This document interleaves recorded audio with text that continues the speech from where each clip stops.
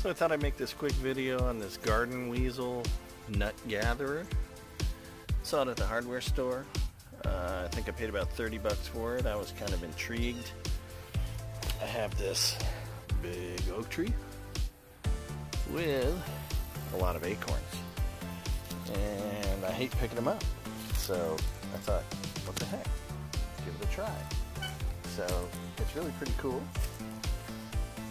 You just run it over the acorns and they pop into the basket.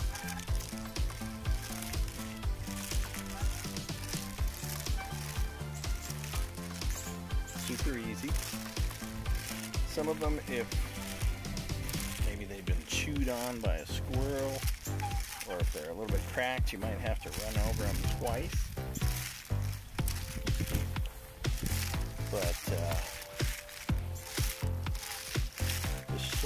makes it much easier than raking them up.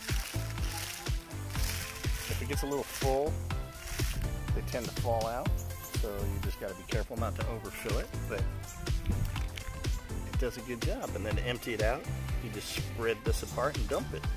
It's really cool.